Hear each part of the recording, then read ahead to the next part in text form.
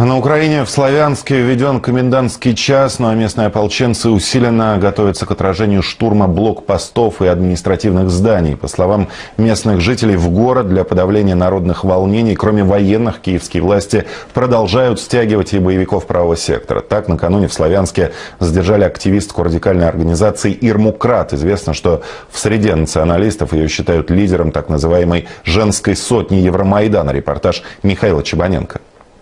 Очередные трагические новости стали причиной экстренной пресс-конференции исполняющего обязанности мэра Славянска. В рядах представителей самообороны города снова потери. Тела двоих мужчин со следами пыток в реке нашли сотрудники милиции. Местные жители, протестующие против новой киевской власти, опознали в них своих земляков. Вероятнее всего, уверены горожане, ополченцы погибли от рук боевиков правого сектора, которые несколько дней назад вместе с военными прибыли в Славянск. Со следами пыток, со вспоротыми животами нами.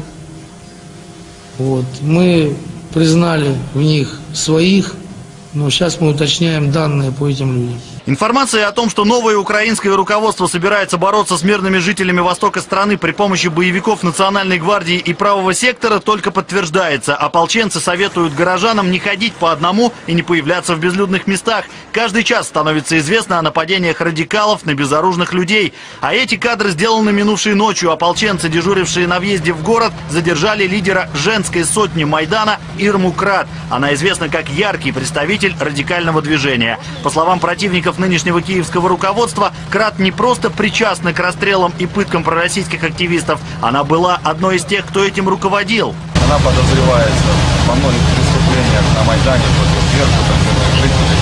Поэтому мы посчитали своим правом ее задержать, и она будет находиться задержанной, пока мы не разберемся, в частности, в этих военных преступлениях. Сама Ирма Крат на допросе заверила жителей Славянска, что приехала в город как частный журналист, якобы хотела сделать несколько фотографий сторонников федерализации, видимо, на телефон. Никакой съемочной техники, даже фотоаппарата, у женщины при себе не оказалось. Чтобы защитить мирных горожан от провокаций и нападений со стороны радикалов, ополченцы Славянска ввели комендантский час. Теперь в городе с 12 ночи перестанут ездить такси, закроются круглосуточные магазины, а дружинники и дежурные на блокпостах будут у всех без исключения проверять документы.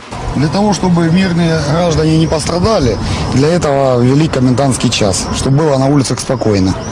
Никто, никто не пострадал, потому что провокаторы приезжают и устраивают всякие неприятные вещи. Из-за этого, э, в принципе, и руководство, и город пошли на такие меры.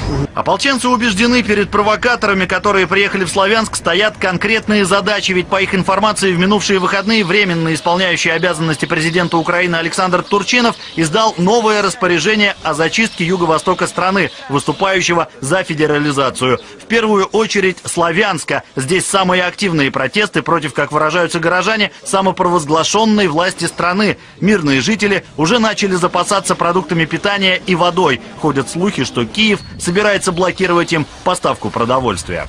Михаил Чебаненко, Сава Морозов, Никита Забродин, телекомпания НТВ.